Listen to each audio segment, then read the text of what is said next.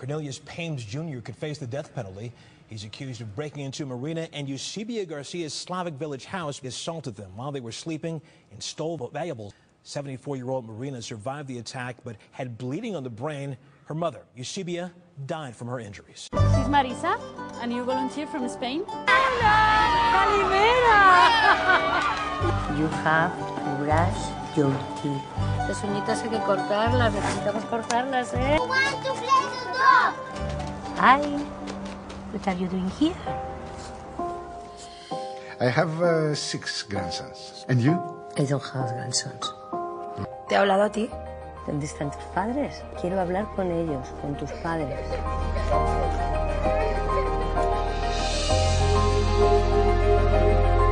Es que nosotros no podemos curar a los niños, tenemos que llevarlos ahí a Cruz Roja. Pero si soy médico. Sí, pero jubilada, ¿no? Pero sigo sabiendo cómo poner betadine.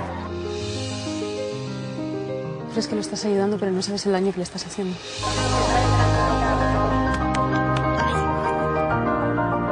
Marisa, se trata de que aquí hay unas reglas y hay que cumplirlas. 66-year-old Gavin killed Caballero and at least two other women. Stephen Caballero discovered his mother's body inside her apartment, a telephone cord wrapped around her neck. We want justice. We want action. Cedric Wallace killing Lucia Mendoza and her two daughters. Jason Nightingale firing his gun on 61-year-old Marta Torres. She succumbed to her injuries. Marcus Wayne has been charged with capital murder.